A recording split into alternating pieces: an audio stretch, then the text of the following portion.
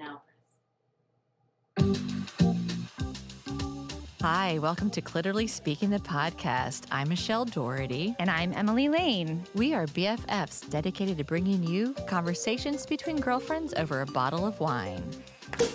Oh, I am so excited about the wine part. Oh, me too. So pull up a chair, grab your glass, and let's get talking.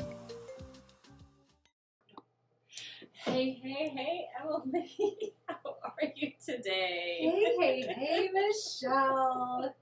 I'm great. You know, it's our time of the month. It's like my favorite time of month. It's my favorite time of the month too. Yeah, It feels so empowering when it's our time of the month.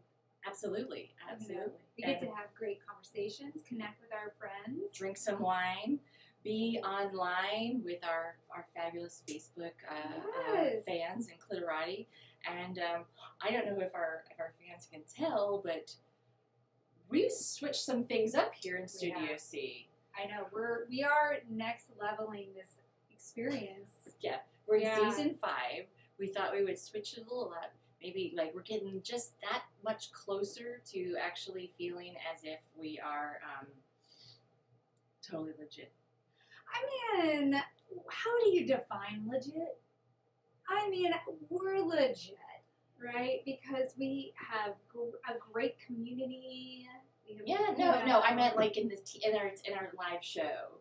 I mean, if you if if our if our viewers want to go back and, and look at the one we did in January of 2019 Oh, wow. Yeah. and then compare it to where we are today, we have we have evolved.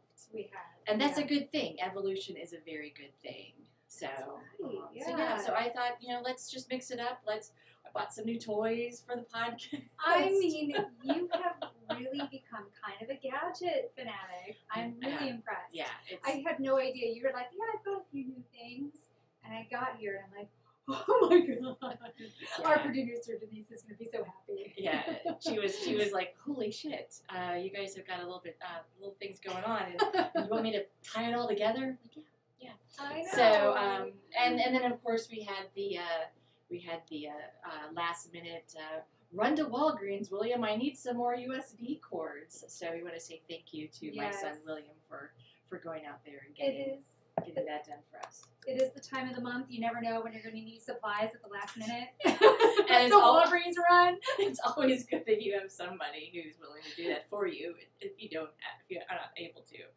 So Yes. yeah, so before we jump into all of our discussions today, and we are going to be taking questions uh, towards the end of the show. So if you have questions, start put, putting them into the um, the comments because we will Yes.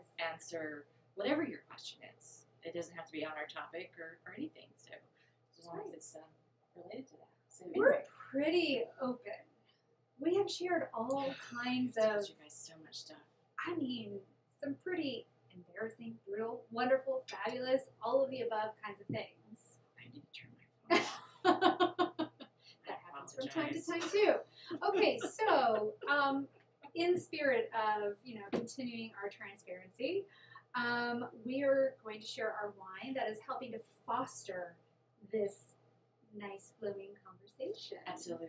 So I'm really excited about this. Um, this was I, you know, I reached out to Jason and I, I told him um, that you know we're going to be having a great conversation tonight, celebrating the 19th Amendment that passed 100 years ago 100 today. years ago today. It's kind of a big Yep. deal. Yeah, we're in yellow for that. Yeah, so I thought you know let's let's really have a nice bottle. And so Jason from the wine merchant's like, I got you covered.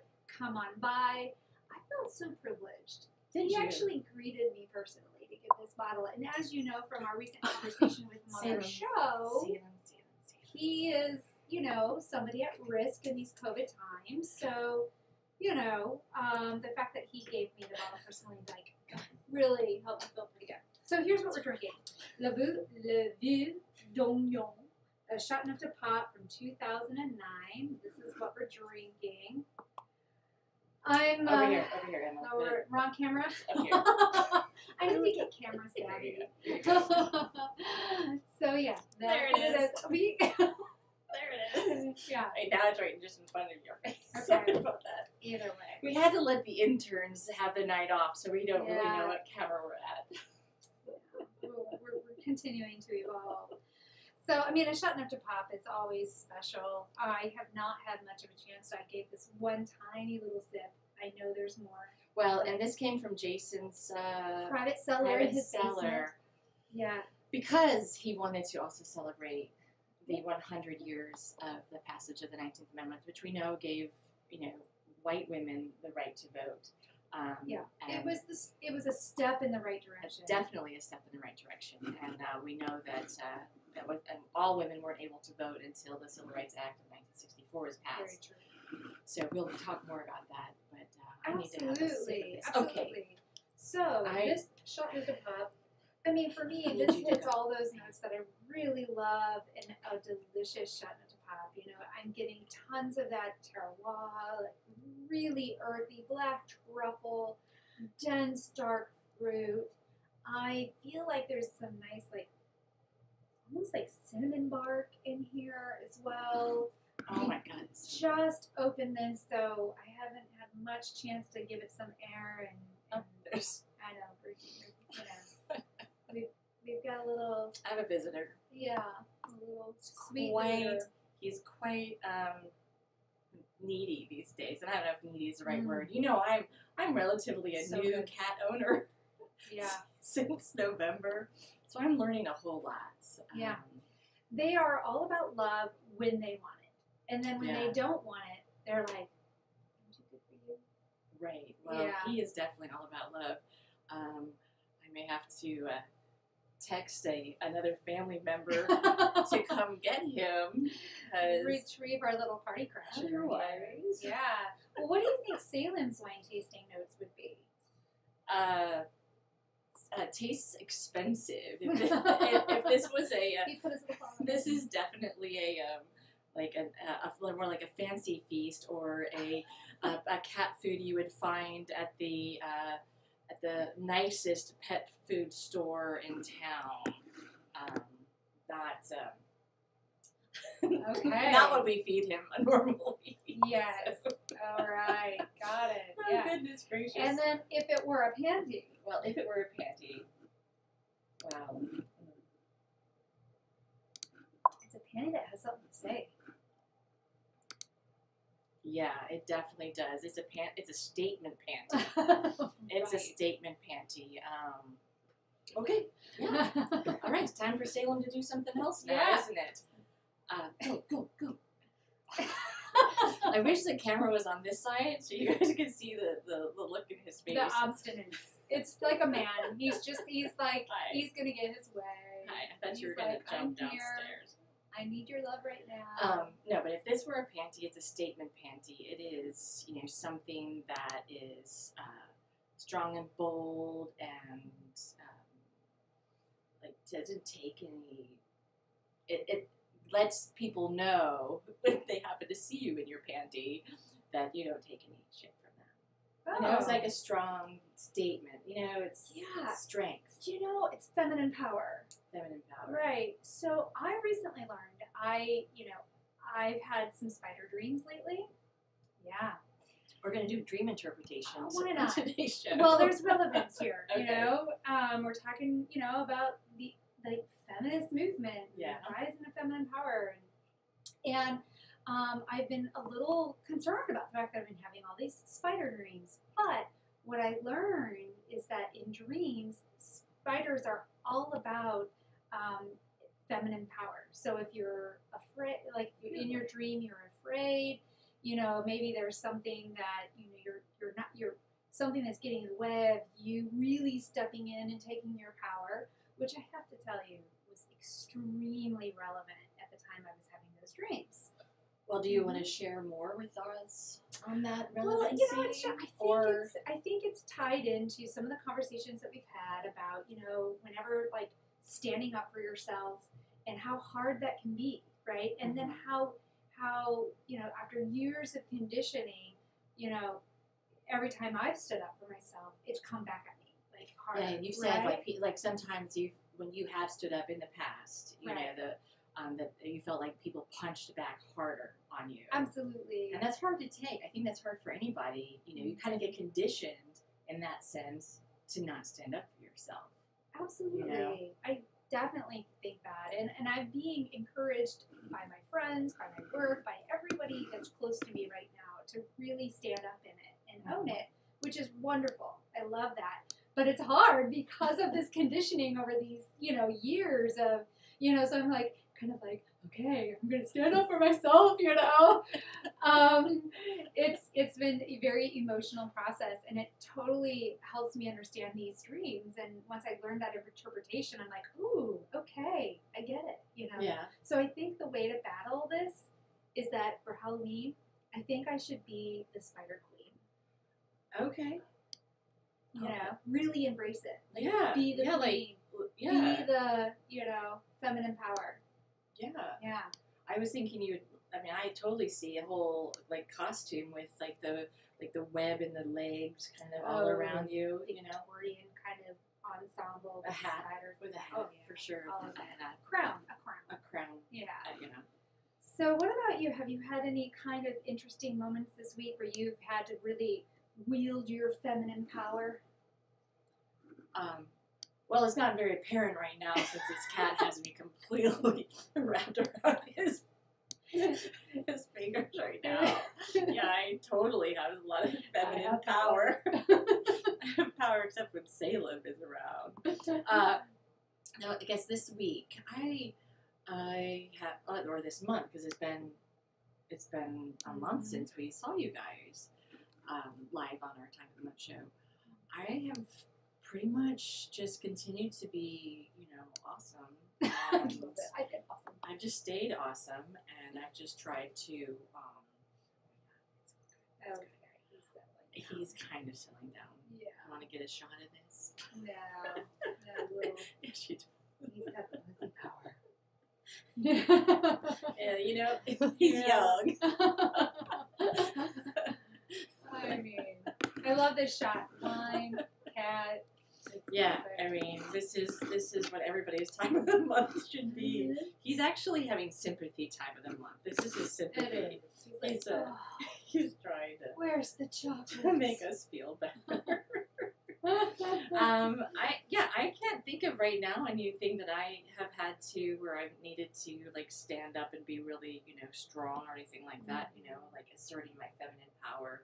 Um, I have uh, just been dealing with you know regular like life Yeah. and continuing to try to. I mean, we've been busy at work, but continue to try to be. Uh, try to stay positive because you know we're on We're like still in it. we're still in it five months now, Yeah. you know, and know.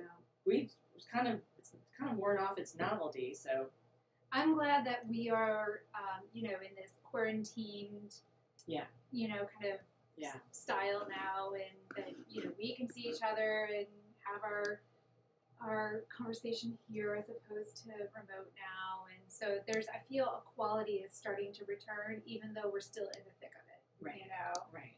So, and then we also were able to go do an amazing thing together last this last week, which I think maybe we should talk about a little bit. Yeah, we definitely want to talk about it. Um, last uh, last week we went along with our friend Nikki and our producer um, Denise to see the uh, Beyond the Ballot exhibit at the Missouri History Museum. If you have not had a chance to go see this yet, I highly, highly, highly recommend that you do that. It is free. It is. Um, it will be at the History Museum until March, like 22nd or something of 2021. Uh, what you do have to do is um, uh, go on their website and you have to register for tickets because that's how they monitor who's in there and all that kind of stuff. But I want to go back several times. Me too. And then it was so good. We'll talk about that. But it was so good. We were so moved by the exhibit that we reached out to the young woman. The I'm going to say young woman. I mean, she could be my age. I don't know. But the wo- Young woman. the woman who put put it together for the History Museum. Her name is Katie Moon, and we are going to have an episode with her going really in depth on the exhibit and everything that was in it and how she put it together in this season. So it'll be an Yeah. additional thing for season five. We're very excited about that. But Emily, why don't you share a little bit of your reactions Hmm. to the exhibit at the History Museum? And so timely. Yeah. I, yeah, I mean, I, I, I have to celebrate that for us. you know, the, Yeah. the, the, going right before the show and the anniversary being today, and it's just, I, I, I think that's something that's really special about what's happening right now with our community and with our show is that we're we're finding these wonderful timings that just you know about life that are unfolding naturally, and it's it's great. But that exhibit, um, I, uh, it's so much to process. It's a lot. You have to when we you were go there see, at least three hours. right, and you have to be ready to like absorb it all. And you know, I, I definitely I recognized kind of towards the end. I wasn't actually fully comprehending all the information anymore because You were saturated. yeah, because Nikki and I at one point was like, "Hey, wait a minute, why la da da da?" Like, and you know, I was like, "Wait a minute, why is it that you know what really happened?" Because I see all of these, you know, these free, these amazing um, black women who were free that were really making things happen in this time, su- successful entrepreneurs. What happened from the way the law was written to to preventing the vote from being in their hands. And Nikki was like, "Oh, well, it's written over here," and I'm like, "Wow, that just completely." I like I'm past the point of absorption on that. so what's really um, nice about this exhibit is that it focuses on the St. Louis women who were who impacted or helped to um, impact the passage of the of the, 19th the Amendment. 19th Amendment. So there's a lot of history, Oh my gosh! and there are things, and I know that we have listeners and viewers all over the world, but um, if you're if you're a woman in St. Louis, we built this city. We the some of the most amazing Yeah. institutions that exist today are things that we put together. I mean, okay, Yeah. I'm saying we as as a female, but like Barnes Jewish Hospital started by women. Right. Um, Many educational institutions. Yeah. Uh, you know, foster care institutions. right, like things to take care of the or, you know, orphan children. So and so many of the things that they did, they did um, unpaid and um, and uh, and on a volunteer basis. Uh, the, it- the apparel industry that that was part of the, the, the, the country's main livelihood for so many years and in fact we're still celebrating that that legacy that's gone and hopefully coming back but that was very predominantly women focused Yeah, and it's a really nice um, mix and balance between um, what the contributions by white women as well Yeah. as the contributions by the African American women, rich poor rich, poor, and then guess what, St. Louis? Prostitution Oh, was yeah. legal for four years in the late 1800s, 1870 to 1874, and there was uh, a few uh, brothels that um, Yeah. were successful, but one was run by a woman by the name of Priscilla, Henry. She was an African American woman. Got and this is a definitely like bullet points. You should def go to the Mm. you know look her up, go to the museum, check it out. But she ran two brothels, one for white white men, one for black men, um, and then uh, or you know non-white, and um, she was so successful at her business and was such uh, like her employees loved her. The business, the other the men in the community respected her and she earned so much money doing, you know, having this job that she about two million dollars in today's yeah today's money she earned two million dollars, and she bought the plantation where she had been a slave. isn't that astounding How? How? when That's she owning your oh no kidding Yeah. she is the spider queen She is a spider queen. but when she passed away, like she was not only celebrated here for all of her contributions and her entrepreneurialism, but she like was known across the country.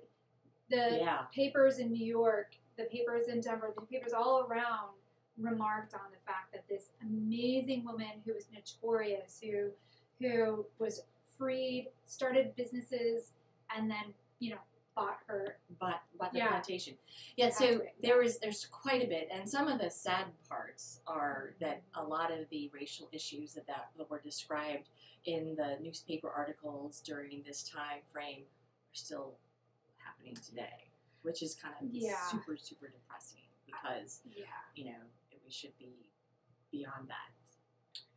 Yeah, well, you know, interesting to think about. So the 19th Amendment, when it was passed 100 years ago, you know, that effort had started in the mid 1800s.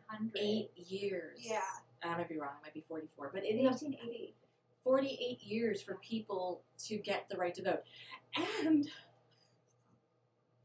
and like the insult of it was and on top of all of it was the fact that women had been petitioning the Missouri legislature, you know, the legislatures every year to get mm-hmm. the right to vote, right? Petitioning. But it, they couldn't fill out the petition themselves because they weren't registered voters. They had to actually have men.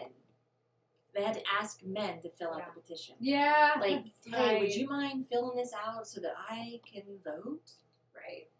That was like I did not know that, and and I was you had to you had to like stomach or like keep your mouth shut. I don't know if I'd have been ever. I mean, I'd been a good suffragette, but not necessarily on like collecting a petition side. You know, so speaking of the term suffragette versus suffragist, this is Mm. something that I thought was really fascinating too. They're very they they stem from the same cause, but the interpretation of the words have very different meanings.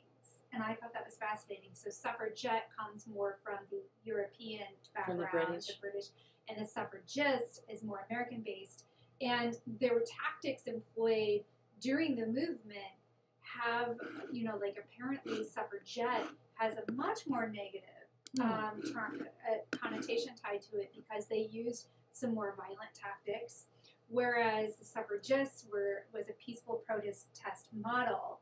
Yeah. And there were other layers of distinction. I thought that that was really fascinating because I've never really, I've always kind of thought them to be the same, and essentially at the core they are. However, they did have slightly different, Tactics, Approaches. strategies, yeah, and the women in Britain got the right to vote two years before the women in the United States.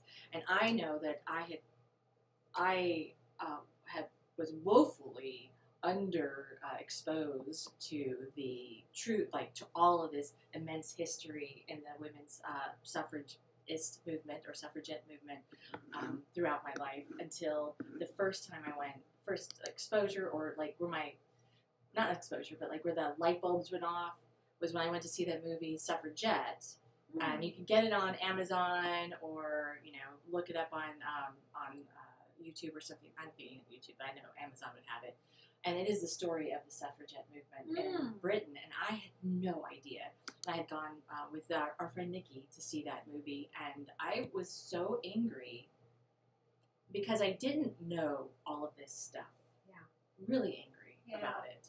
Um, and then and I have to say, I did not know until I've become an older adult and through educating myself that um, that uh, women of color were excluded from the right to vote until 1964. right. And I apologize that I was unaware of that.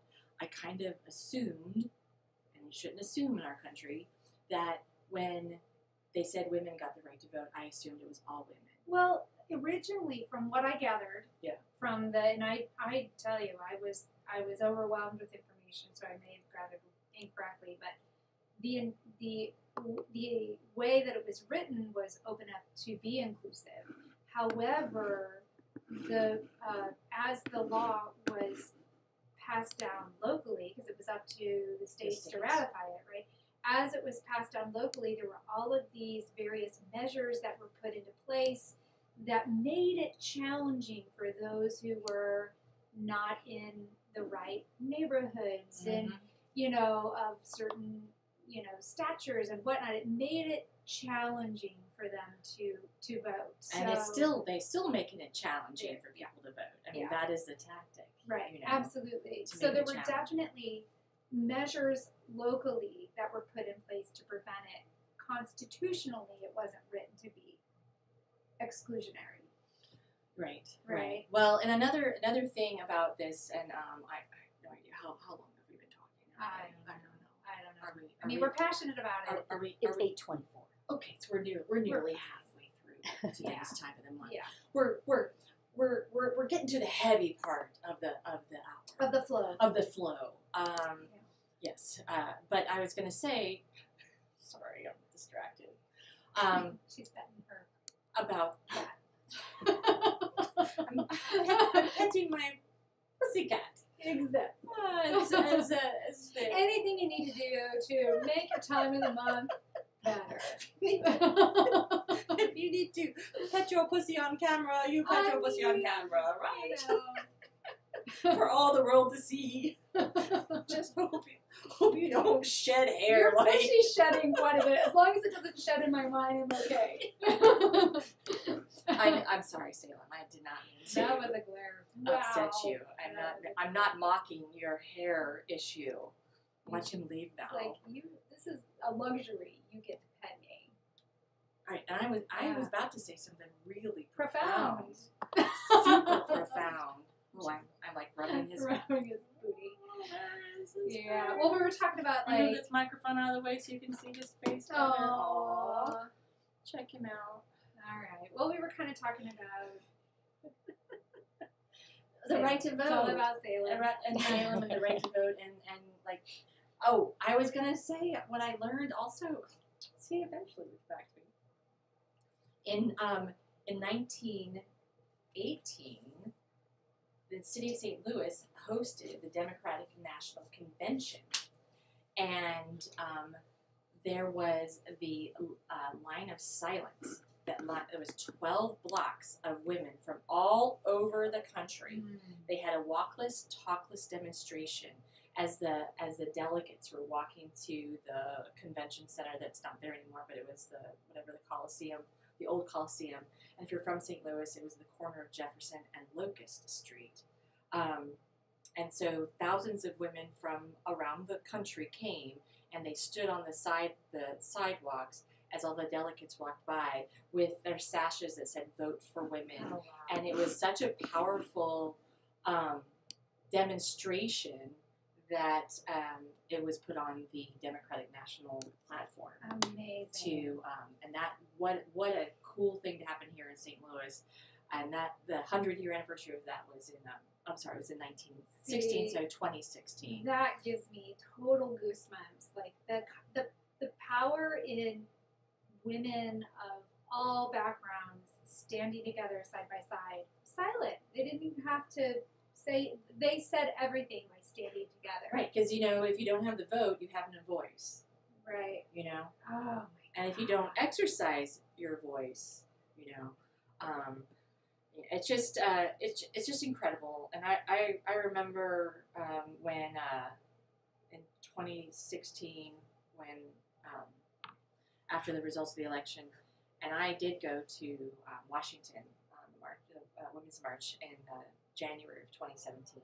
Mhm. And I remember, um, and I might have talked about this on the podcast before, but uh, it was like the weekend before I was going to be going, and I'd gone to uh, yoga class, and uh, one of my you know yoga friends uh, asked me what I was going to be doing, and, and I I said, uh, "Oh, I'm going to the women's march next weekend," and I was really excited about it.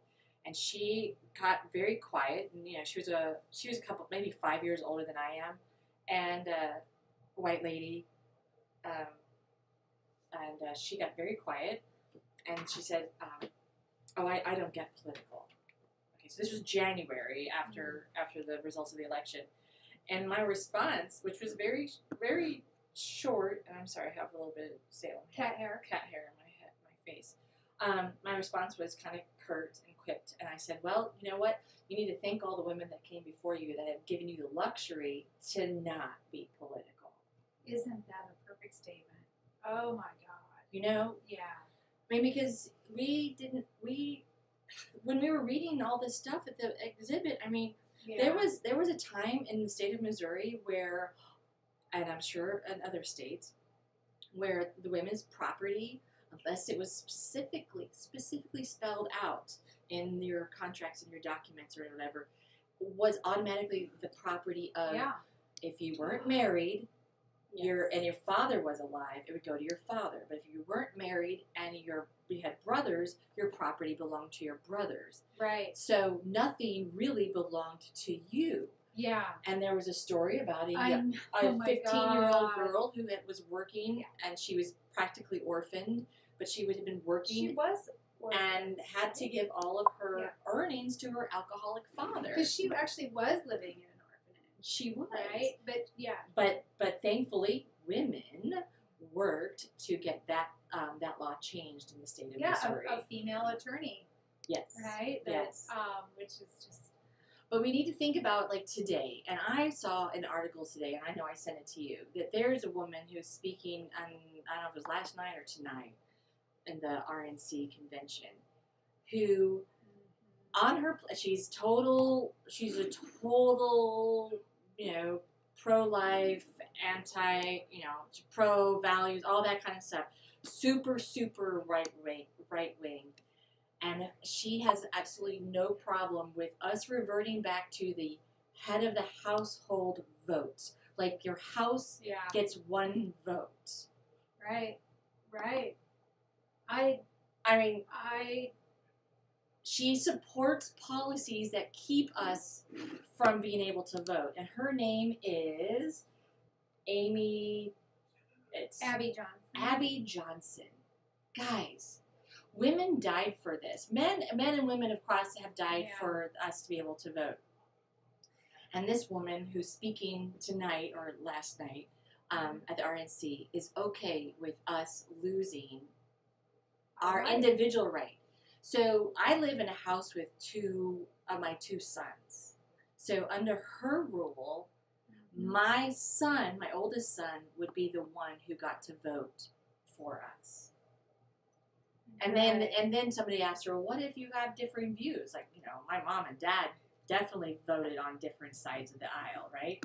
My ex-husband and I voted on different sides of the aisle, and her statement was, "Well, um, they would have to talk about it, but in a God-fearing country and in a God-fearing marriage, the husband would have the ultimate say." I'm curious now. I did not see her speak. Ah, But I I'm was curious, like, I- what was the reaction of the crowd? Like, were they were they supportive of this? Were they enthusiastic? Like, I I'm curious know. because I mean, I have I have friends that are you know I have a diverse group of friends. I have friends on you know that are on the other side of the aisle than I am, and um, I I they would not be at all celebrating the point. The lo- the right to lose No, my goodness, no. Yeah, well, You that's know? that. But I do think it's a really curious choice for them to put her up and give her this platform because it's very, to me, telling um, of who they're catering to, yes, who they're exactly, pandering to, exactly. you know, the goals of the of their of their party. They're giving this platform. Yeah, You know. Yeah. I mean, I'm so glad we have our time of the Month show tonight, so that people don't have to watch the RNC. I mean, you know, at least we're giving them something else, right? Some other kind of quality television. That's right. You know, if you're, We're getting political. We are, but we're talking, with line. But we're yeah, yeah. Thankfully, we have some wine to go with it. But um, but I, you know, you have to be aware that there are um, so so the cat is now moved on the camera too and Uh-huh. wants to sit in Denise's lap. wants to sit in Denise's Yeah. lap and rub his face on He's that make the camera. rounds. Yeah. You know, he's he is. You know, It was his debut here on that, on this time of month. Um, but anyway, Yeah. what we were saying is it's important, and if you uh, the right to vote and women, I mean, really think about it. White women, we've only had this for a hundred fucking years.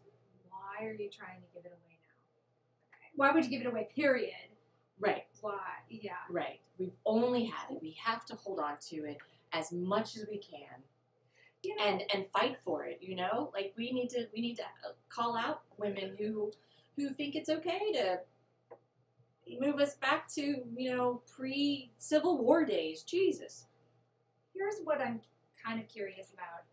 I, I'm an optimist, right?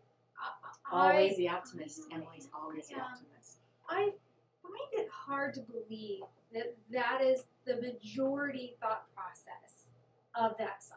No, I. That we're hearing the voice of one radical crazy person. Why is it that it's the radical crazy people that are given so much opportunity to share their viewpoint? I think it really skews the conversation and makes it harder for the parties to come together and make progress happen because they're being what we're hearing is so radical.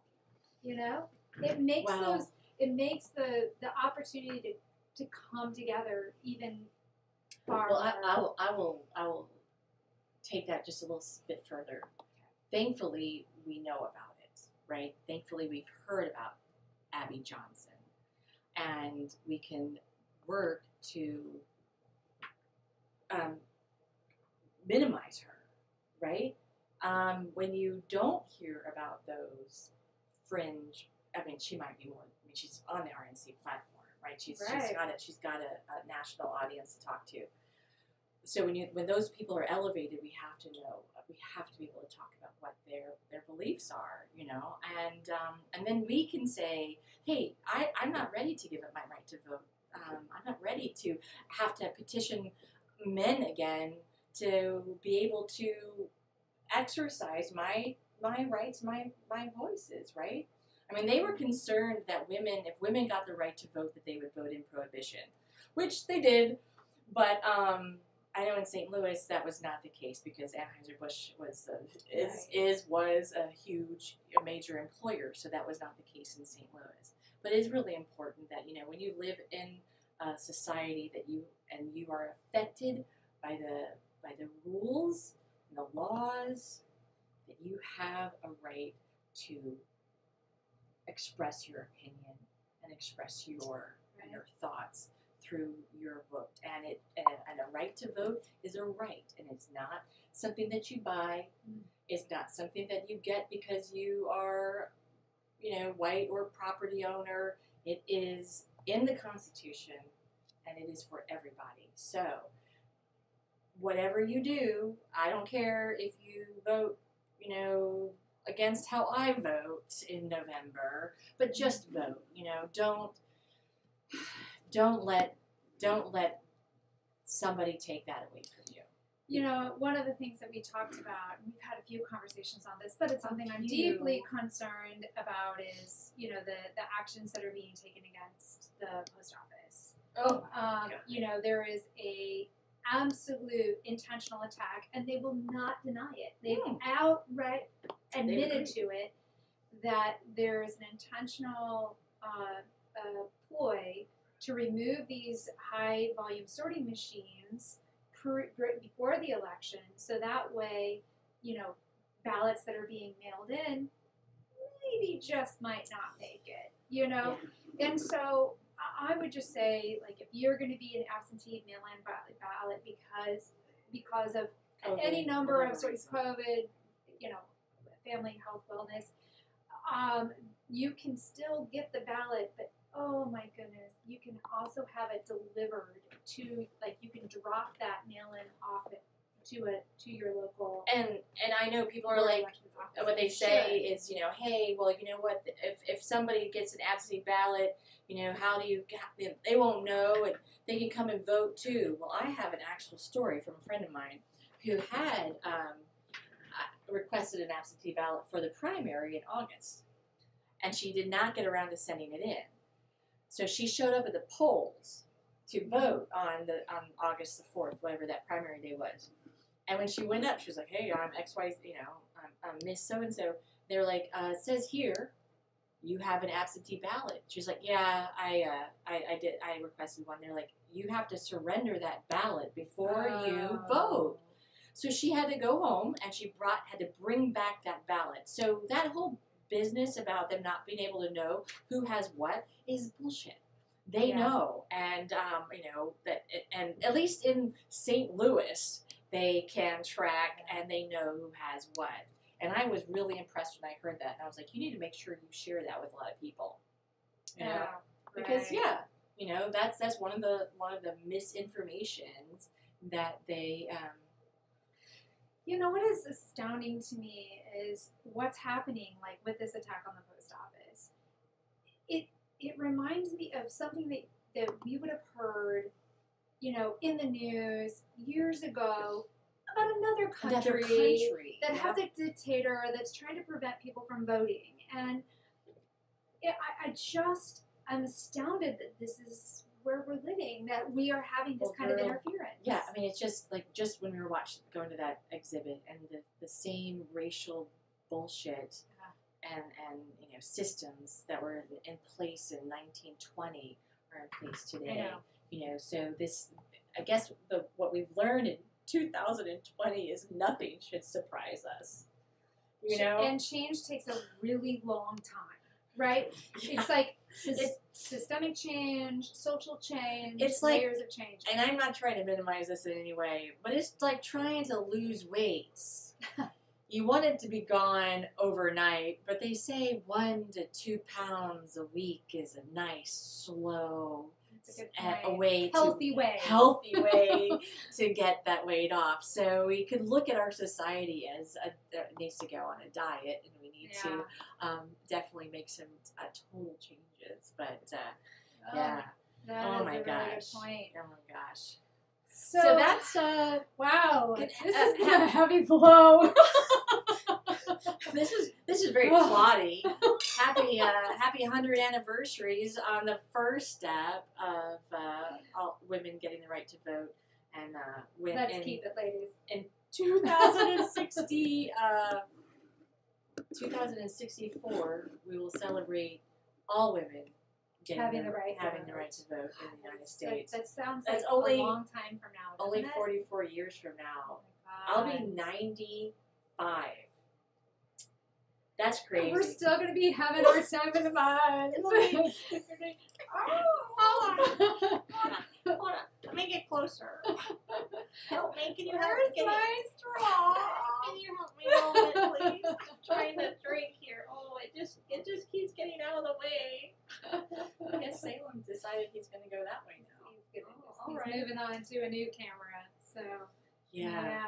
Okay. So Let's go on to something Yeah. fun. well, right? let's talk about boobs. Let's talk about boobs. We read this article. Voting and boobs. Vote and boobs. They're both four-letter words. Well, they're Vote. very. Boobs. You know, we've been talking about. And if you're a woman, vote boobs. No matter what. If you're at the polls, we already have the boobs. We already have the male vote. You know.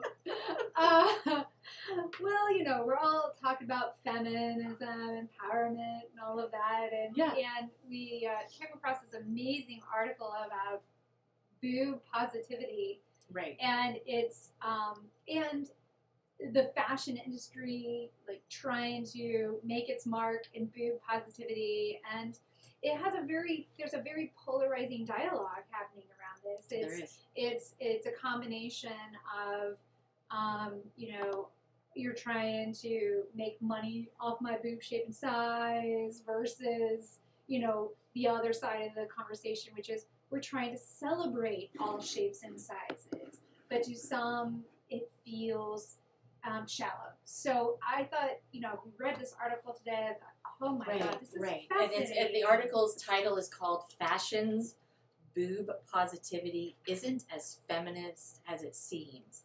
And Mm-hmm. um, you know, in the fast fashion world, there's T-shirts now with. I know Emily just showed you like the line drawings of like boobs that aren't that are like different shapes and sizes, um, more on the larger size. Mhm. And uh, I don't see many of them in the United States. It could be just you know could be more of a European thing right now. be. But you know how things happen, it always comes over here.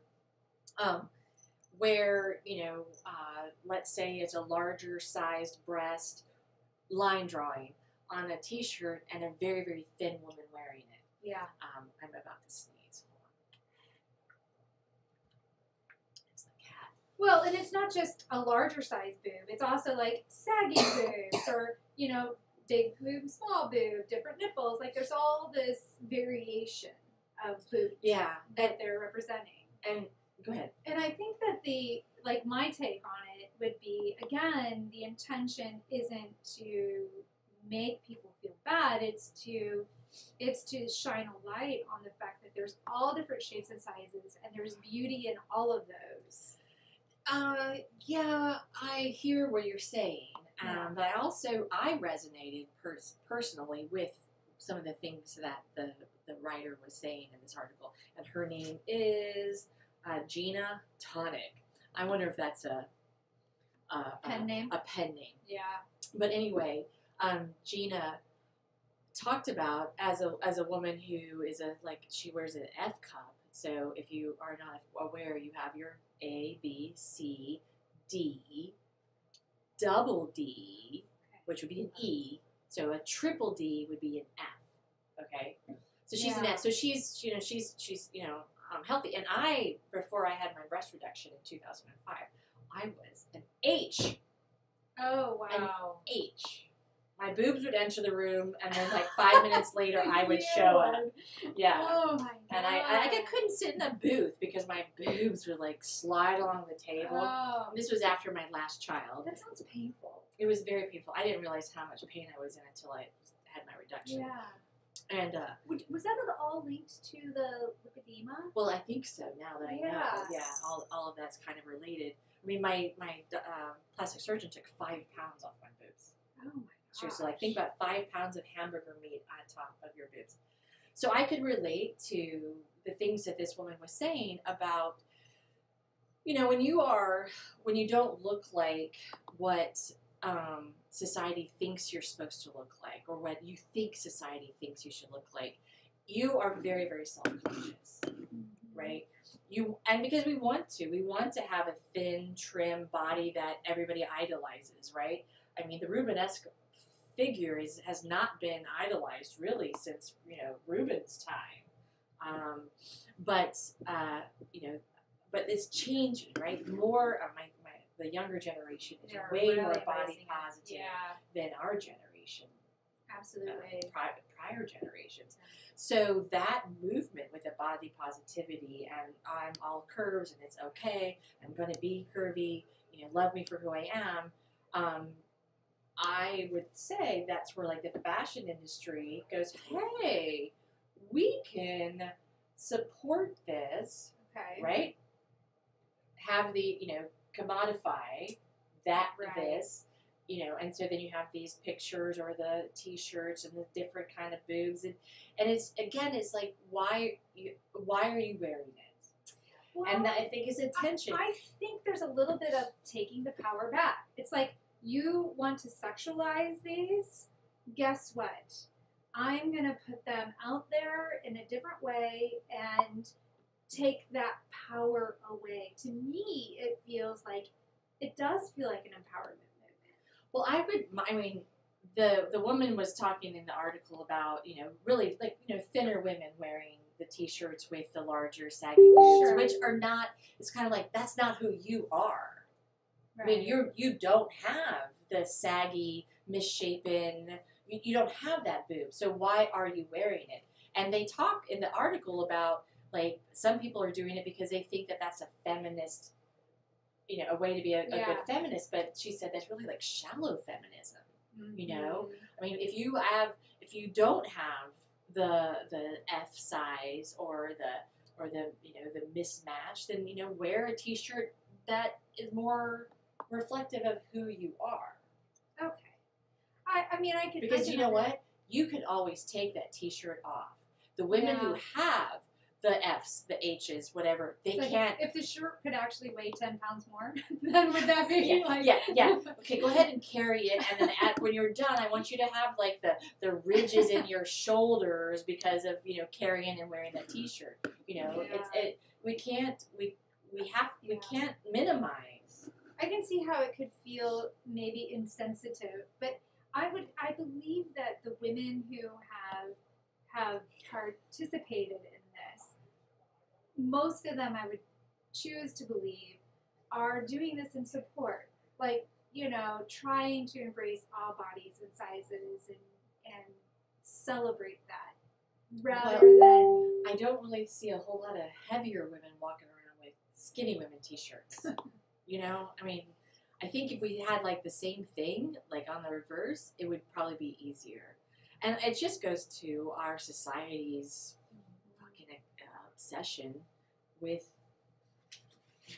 Victoria's Secret does not do anybody any favors when they have their like with when they have their over idolized, idealized, not idolized, but idolized as well, over idealized and over sexualized mm-hmm. that form that they promote. And if you don't fit in the Victoria's Secret body, too bad, so sad.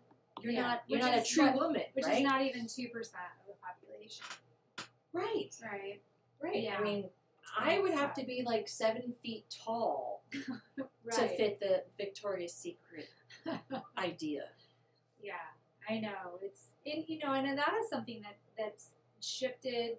What when the Twiggy years of fashion happened, 60s, 70s, yeah. 60s, So, um, you know, you think think uh, old Hollywood. You know, Marilyn Monroe. She was five foot two and 136, 150 pounds. Yeah. You know, that is somebody who was more Rubenesque than you know the And current. right. I mean, Yeah. you know, But I do love this this younger generation who are, you know, really like you said, body positive, celebrating all of the gosh, yeah. curves.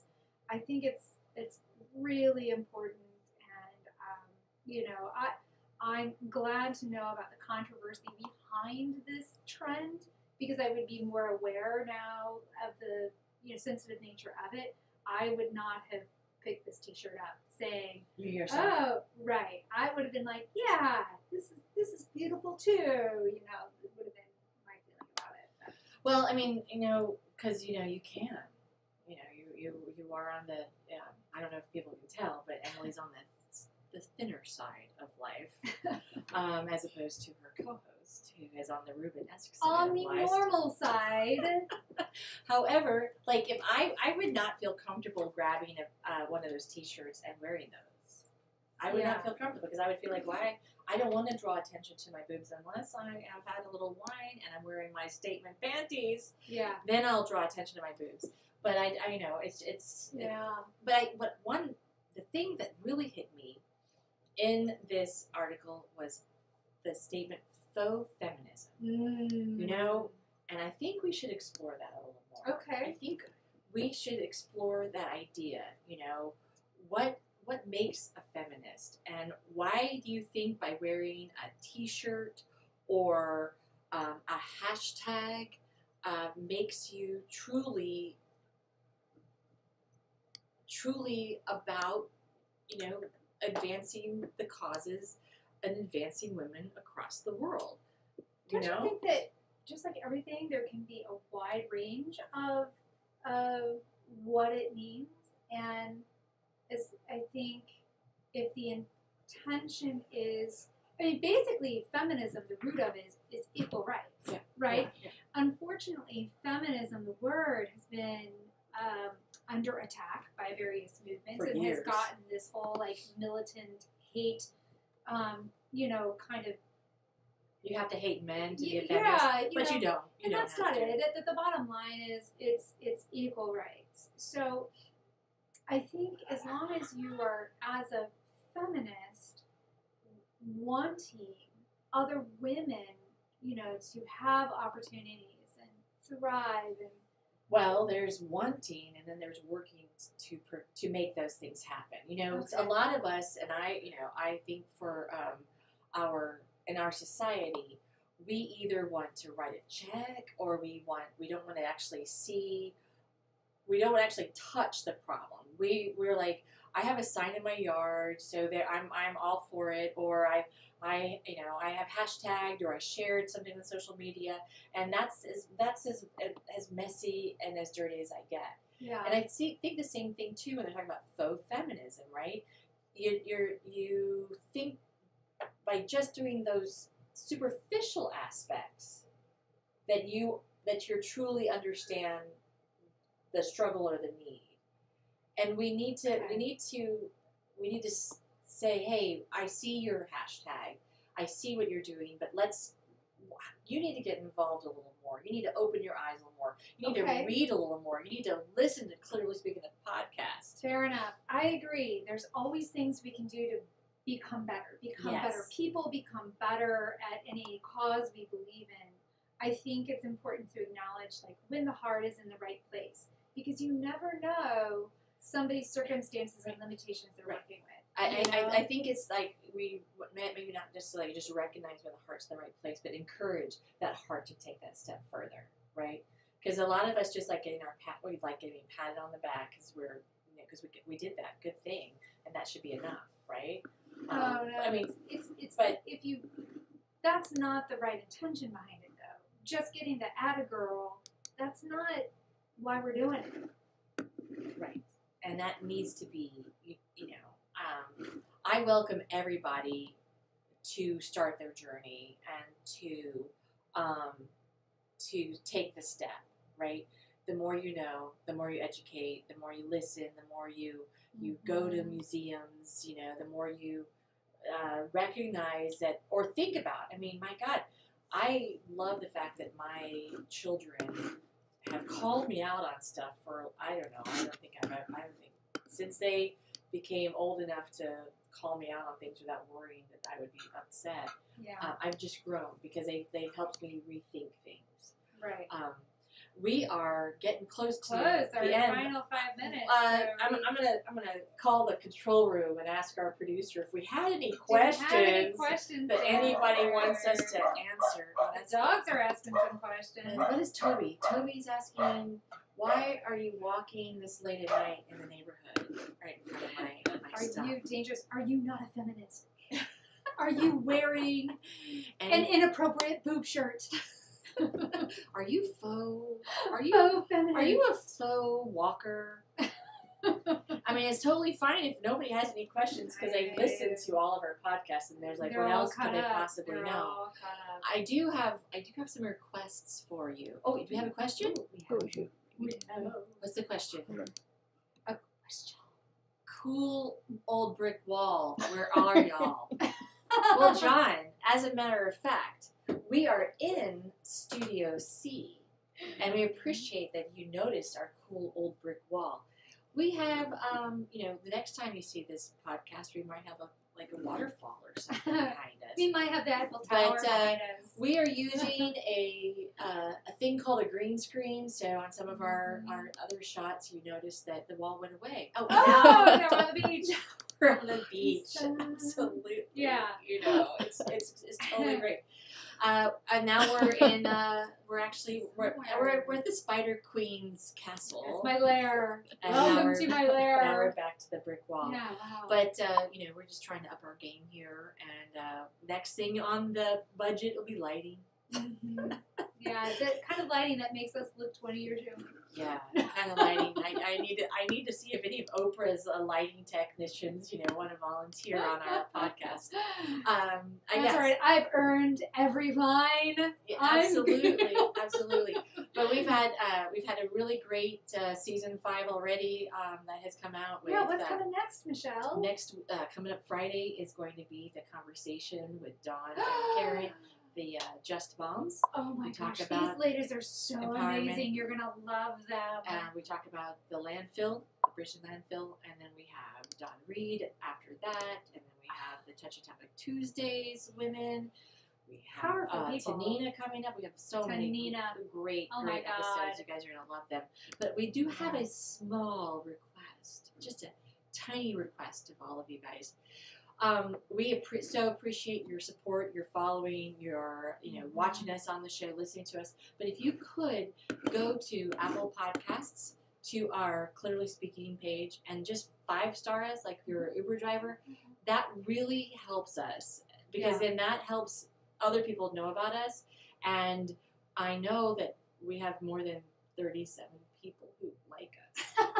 we do. I mean, We do know that. I have 40 friends myself, and Emily has 43 friends. So if combined, that would be 83. We should have we should have 83 likes, 83 Mhm. stars, um, 83 five stars. And so if you could five star us, leave a review, that'd be awesome. But in, and mostly, go to Apple Podcasts. There's one, two, three, four, five. Click five. It helps. It helps. What what it does is it it helps the podcasting systems know that we're legit, Yeah. and it puts Yeah. it into feeds. Well, we are legit because we've had over 28,000 listens of our podcast and all around the world. all around the world. Yeah. So, all around the world, if you could, go to Apple Podcasts. Australia, you, we know you're there. You're we love you. You're a number two country now. You overtook Sweden, and we love you, Sweden. But uh, if you guys could just go to Apple Podcasts podcast. Even if you listen to it on something else, go to Apple Podcasts and five star us. So, or how many? I mean, I don't want to.